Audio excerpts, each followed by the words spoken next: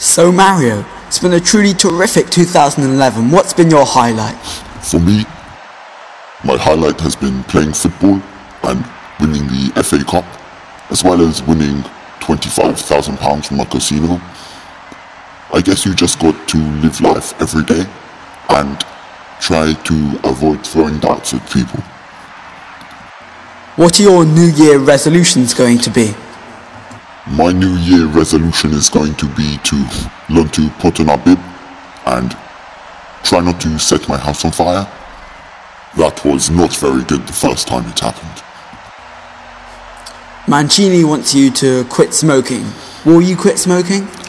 Uh, for me, smoking is okay because I can still play football and I know that I am no bad boy, I am Mario and I will just do what I think is okay and try and keep myself free from injury. Mario, have a wonderful year. Thank you.